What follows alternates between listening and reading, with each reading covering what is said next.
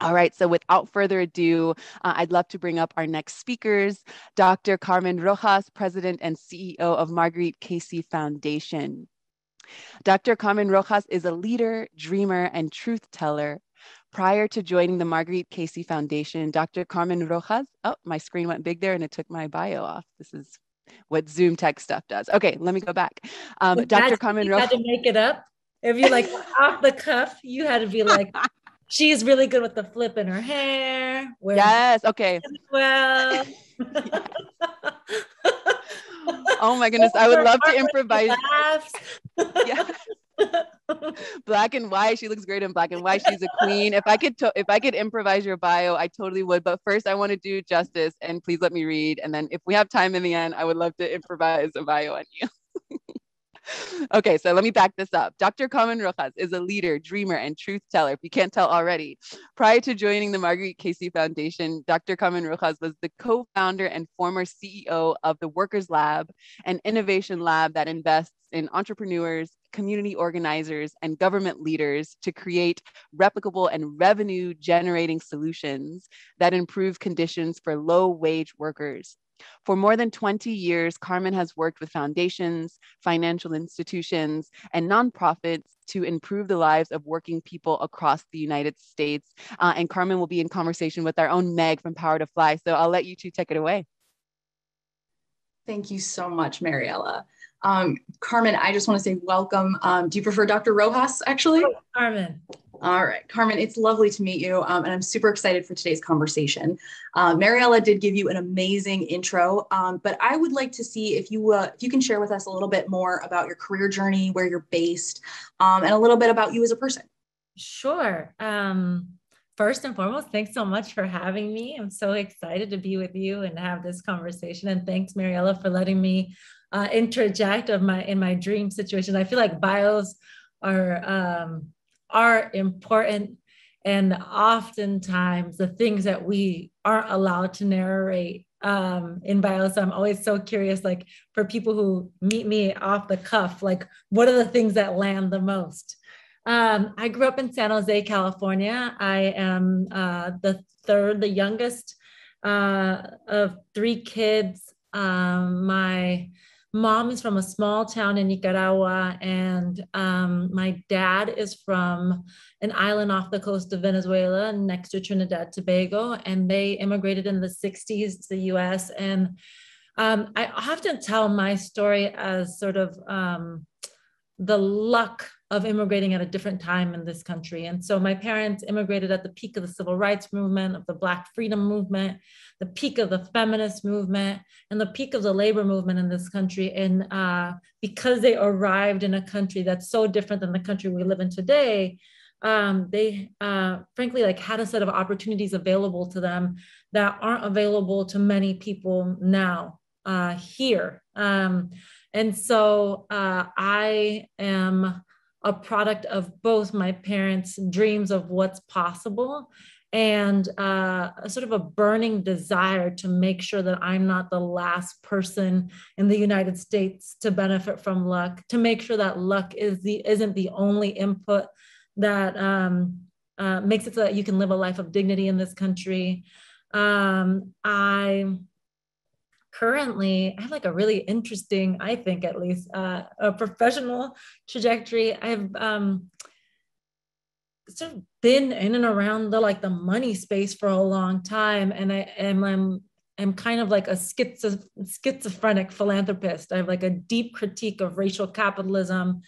Uh, call myself a Marxist uh, believe that there is a future where uh, money and power aren't so deeply tied in um, tethering people to a fate and future, that there are other things that are so much more important and valuable, and uh, have for the last 20 years either worked at or for or have built organizations um, where moving financial resources to leaders on the front lines of economic justice has been the key role that I've played, and now more clearly focused on racial justice and specifically on Black liberation as the animating and driving driving force for my work and for our work at the Marguerite Casey Foundation. So it's like um, it's like a funny tension that I'm always like um, leveling on. I've been playing with this idea. Uh, there's an amazing author and scholar named Keeanga-Yamahtta Taylor, and she writes a lot about um, pragmatic utopianism uh, and the ability to like understand where we are today, but a deep commitment and desire to build for a future that we know is possible and want. And so the moment I read that term, Meg, I felt like it was a calling card for me. Like I'm a pragmatist. I know that today people need money. And so I see it as my job to get uh, leaders on the front lines of the fight for racial justice as much money as possible to make sure that we uh, have a better future for us, a better country for us. Absolutely. Um, I'd never heard that phrase before today as well. So now you've got uh, a new Thank rallying you. cry in me. Um, yeah, pragmatic utopia. I absolutely love that. Um, all right. So you mentioned the Marguerite Casey Foundation. Can you tell us a little bit more about that and what the foundation does? Sure. Um, so Marguerite Casey Foundation, I'm just gonna do like the philanthropy 101 because I think philanthropies, like foundations are like these weird institutions that are often seen as benevolent. Um, and so I think context is important we are the product of uh, an investment by Jim Casey, who was the founder of UPS. Um, most foundations exist because people get really rich and decide that instead of paying more taxes, they are going to create philanthropic institutions to uh, uh, drive and determine the agenda that they want to use their resources for, as opposed to actually giving money to our government to meet the most basic needs that people have in this country um, and I run one of these institutions. We are almost a billion dollar institution, do about $30 million a year in grant making um, to racial justice work across the country. And the driving force for us is this belief that maybe like a two sided belief. Oh, one is this idea that um, without philanthropy, without donors, without foundations, people would still still find a, a way to fight they're like there was before foundations people found a way to fight and after foundations people are going to find a way to fight and uh, foundations create a more even terrain in the fight and especially in the fight for racial justice that like if done right if if we fully resource leaders so that they aren't worried about where they're going to eat or sleep or take care of their kids if these resources are truly free and made available um, it creates room for the fight to actually be a bit more fair not fair in and of itself, but just a bit more fair. Yeah.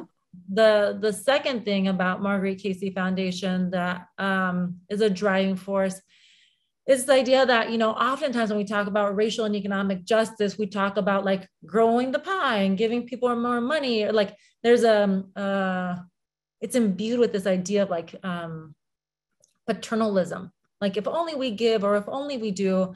And for us, it's really about making sure that people who have long been excluded from our democracy and our economy are not only beneficiaries of it, but are at the table setting the rules of them. So that they're at the table setting the rules for how our democracy works, for who is represented and how. And they're at the table setting the rules for how our economy works, making it more just and more equitable for everybody, Meg. I very much appreciate you you kind of highlighting the idea of maybe leveling the playing field a little bit because I feel like things like campaign finance reform and how how how money within the federal government gets distributed a lot of these things are very very opaque for most americans. Um, and so i think you're right. It's it's definitely something that needs to be highlighted and needs to be um, more widely understood and more transparent.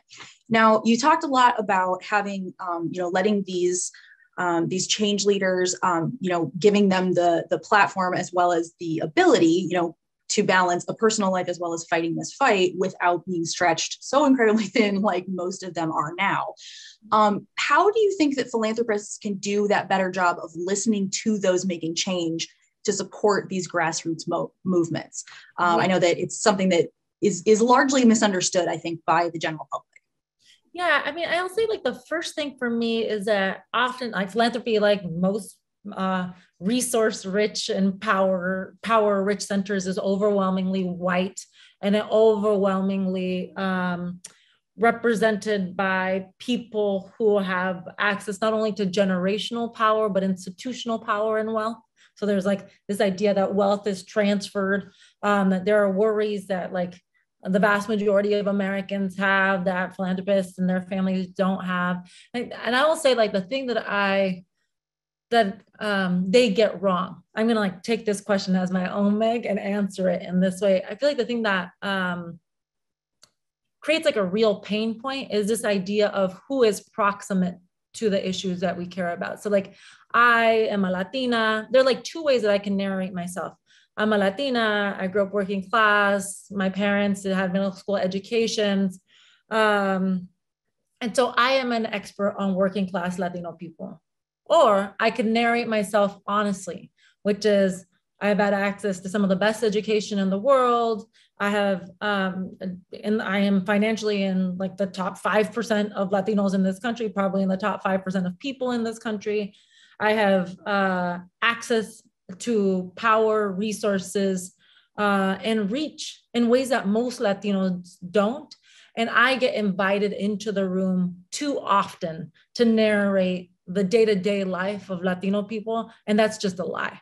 Like my life is not is not that proximate. And I think the dis we need to have greater discipline about making a difference between representation and truly redistributing power and actually creating room for people to lead. And we haven't done that well. Um, so we just find like um, the Ivy League educated person of color who comes from generational wealth, who has a job in finance or in, in like some management consulting firm, and are like, tell us about the experience of your community. And I, and I think that that um, one flattens us as communities of color and specifically i think for for black and native people like really flattens the experience i'll say as a latina uh, i think uh, it doesn't uh, allow us to lift up the complexities in our communities, right? Like anti-blackness is rampant in the Latino community, and uh, we don't never name it and we don't ever talk about it because there are uh, so um, few opportunities for Afro Latinos to be front and center in the conversations about what it means to be Latinx, Latin, Latino in this country. There's like no room for that. And like we flatten who we are in this country. And so for me, I have been thinking a lot about um, if it's not representation and it's not sort of um, like racial proximity, uh, how do we actually create true tethers between or true opportunities for people on the front lines of fights um, who are day to day working in their communities to make sure that uh, families, that moms, that dads, cousins, brothers, sisters, that neighbors could actually work together to set our future agenda. And I, I'll say like I know what's wrong, and I'm trying. I'm like to be honest, like on the discovery of, of how to do this right. I think you're that's a you honestly hit the nail on the head as far as you know things that I used to think about philanthropy and how this all works. Um, and you're right; it's very much about who gets into the room and i mean we we have the same problem in a lot of other a lot of other demographics where if there's nobody familiar then you reach out to the one person who is familiar that might be a part of that demographic. And that's not always representational of the the true needs of the group um, or even what most of the group is living through or living with. Um, so i think you're right that's that's incredibly important to recognize that. Um, now we've talked a little bit about how the Marguerite Casey Foundation works. Um, how how do you partner with these stakeholders to make benefits reach the actual persons in need? Because I think this is a lot of where people start to lose faith in something like like a philanthropic um, uh, donation or a certain program that's being created. How do you know that the people that need it are going to get it? Yeah, so we fund organizing. So they're like the um, we fund local community organizing in places across the country uh, where leaders uh, who run nonprofit organizations are daily engaged in the battle to reset the rules of our economy and our democracy. And so um, I think if I were to step and take an honest step back, Meg, like we're making bets, we're guessing, we're hoping.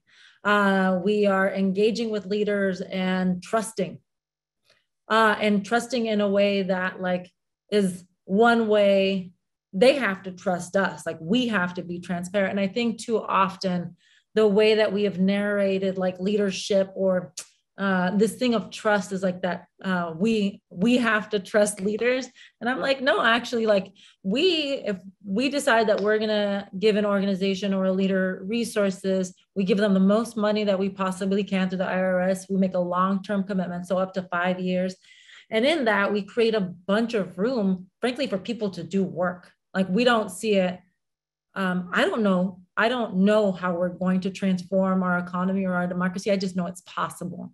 And I want to be able to make sure that what we're doing is being stewards of these resources in service of, of leaders, mostly because it, these are their resources. There are their resources that are not in our tax system. And so why, who am I to measure? Who am I? Like we're, we're guessing. Uh, and, I, and I think that foundations spend an inordinate amount of time trying to find facts and fiction uh, and it's not we don't know uh, but we have to try and we have to try a whole bunch of things and so for me it's um, uh, the way we gain proximity is by creating room for freedoms room for leaders to be free uh, free to imagine, free to try, free to dream, free to fail. You know, the way that people often talk about the tech entrepreneur, like the tech maven, the, like the tech bro. It's like, yeah, you know, like he just got kind of like a million dollars. And like all of a sudden, like from this scrappy, like the way we narrate it, even in tone, is absurd. Um, and went from like a scrappy thing to now it's Facebook, you know, like that's like the the arc of that story. We don't actually give uh, racial justice leaders on the front lines of these fights rooms to room to be clumsy or or room to be curious, room to uh, try and fail and, and like share that they learn something. We don't give leaders on the front lines of the fight for economic justice like the bandwidth and enough resources um, that actually meet the moment and the challenge that we're hoping for them to confront. And so mostly I'm like less looking at uh, accountability, uh, us holding somebody else accountable and more them holding us accountable to making resources available for them to be able to do the work that they need to do to lead.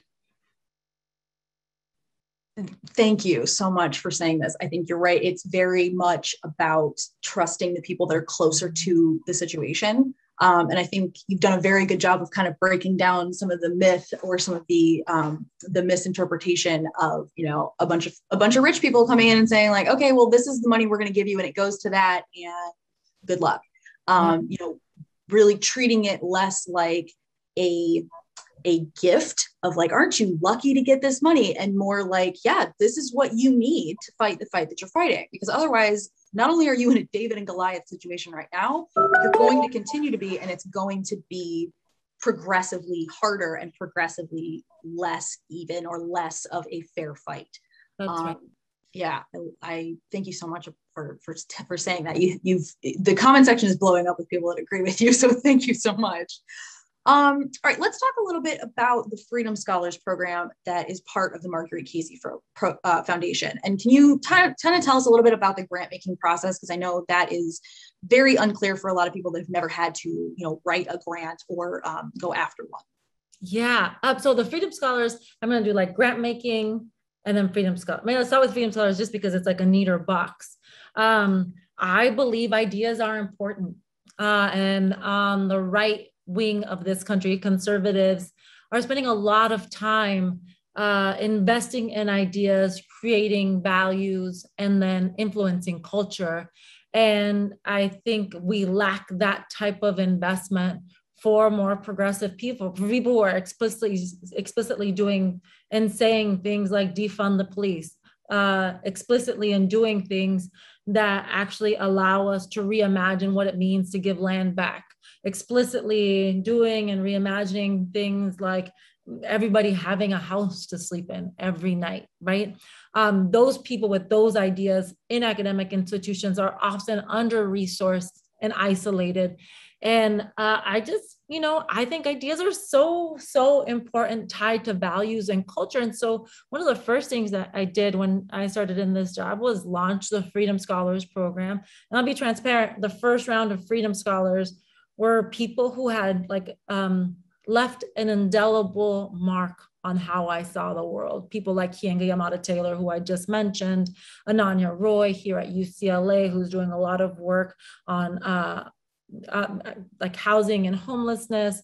Um, and so we wanted to give them resources. And so we just did like a $250,000 award to each of the Freedom Scholars that they can use the money however they wanted to. Like we weren't going to tell them they were going to have to do a research project for us, that they had to produce something for us. It was like really freedom money. If we believe in freedom dreams, and right now, in being the pragmatist, I, I am in charge of resources how do we create re- how do we give resources for people to realize freedom dreams and that's really the genesis of the freedom scholars program this is that we're about to announce our next round of freedom scholars and they chose amongst themselves so it's really like something that we support in partnership with the group health foundation uh, in service of creating sort of this broader network and echo chamber and amplifying effect of some of the most brilliant scholars, I think, in this moment. Um, how we do grant making, Meg, we are like in the beginning of figuring out how to do this. So I'll tell you what um, we are imagining, like a pared down process, like like uh, people submitting applications that they submitted to other places. Um, nothing that's unique to us. Not spending a people spend people who run nonprofit organizations. As somebody who comes directly from that, I just spent an inordinate amount of time writing and reading for a funder, glad handling, like, hey, here I am. My idea is the best. Um, a lot of time and like the uh, lack of transparency. So like, yeah. how how come I got how come May got twenty dollars and I got five dollars, but we both run the same size organizations or have the same size budget? And so, frankly, the thing that we've been doing since I've started is actually trying to remove all of those barriers, right? So, like getting rid of the reporting process. We fund organizations up to who have budgets up to $5 million and no larger. We fund local community organizing, but the amount is actually contingent on your budget by IRS rules. We're not like internally doing like the I got a good program officer lottery and that's why I got more money. We don't, yeah. we are not uh, we're not the experts in your work. You are the experts in your work, and we have a duty to be transparent in our work with you. Um, so we're really trying to figure out how to make it as easy as possible for leaders to have the resources they need. Um, and we're different in that way, I think, right now, Like, It definitely sounds like it. Um, and I love I love highlighting the fact that you know you're giving these people um, you're giving these people money but without a lot of the strings and a lot of the bureaucracy and the paper trails and things that that can very much snarl the process so so quickly especially for if you're dealing with very like smaller local orgs you know these are people that don't have extra interns they can throw at filling out these applications for them these are people that don't have the time to jump through those hoops um, because they're too busy keeping everything running right. um, so I, I think that's so, so great. Um, we don't have a ton of time left, but I do want to get one last question in, and then we'll talk sure. a little bit about how we can connect with you and support you.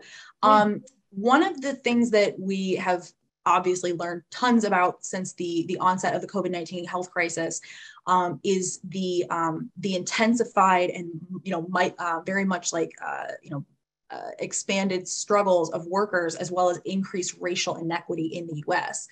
Um, I'd really like to hear what your perspective is on it and how the Marguerite Casey Foundation is working to kind of mitigate that pandemic impact on um, people of color as well as um, you know people from the working class and low. Mm-hmm. Um, I think a couple of things, right? Like the pandemic just made visible something that has always been true in American history.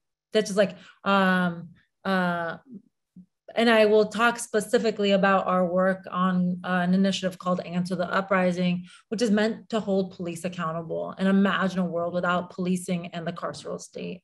And for me, the most striking thing of June 2020 and of 2020 generally was one, the pandemic, but two, like the sheer amount of people who were like, I didn't know racial disparities were so great. I thought this was more, more than we were like living in like a, a panacea uh, where everybody had equal access to opportunity. And it was just like they kind of chose to take opportunity or chose not to take opportunity. It was like left to the individual.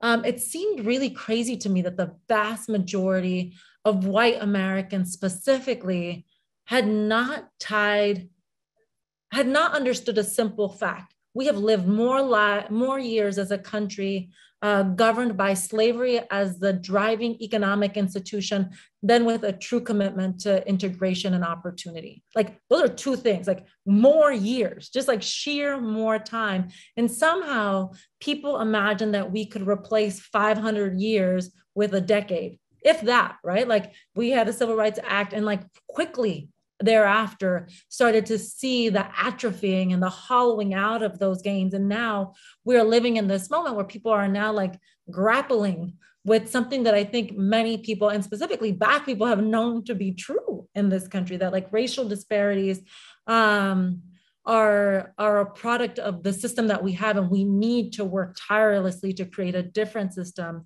we launched Answer the Uprising because I was struck that in the middle of a pandemic, millions of people took to the street because the police were killing Black people.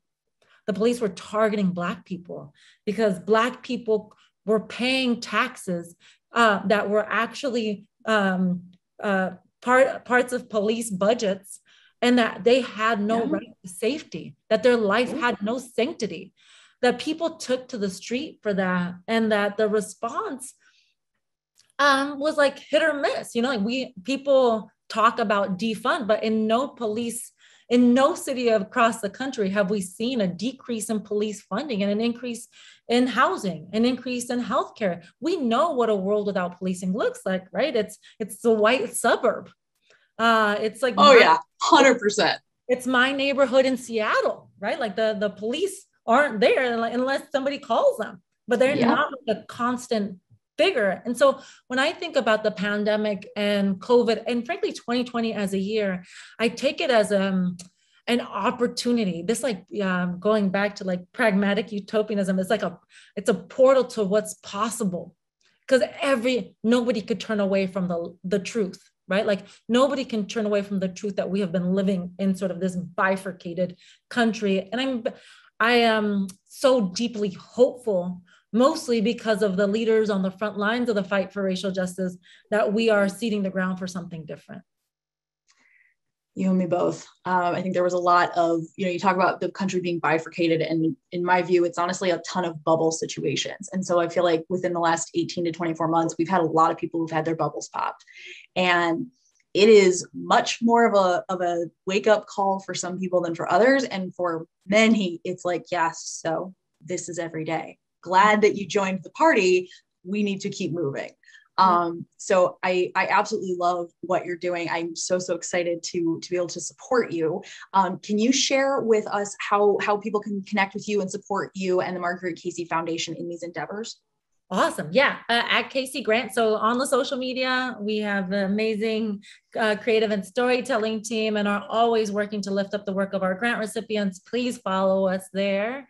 Um, and ask questions. Like we have an open door institution. We see it as our job to be transparent and accountable to our brothers and sisters on, on the front lines of these fights and um, know that we have an open door policy. It may take us a little bit of time because we're a small and scrappy team. And uh, our commitment is to be responsive. So, mostly posing that question back to folks listening. Excellent. Thank you so much for sharing that with us.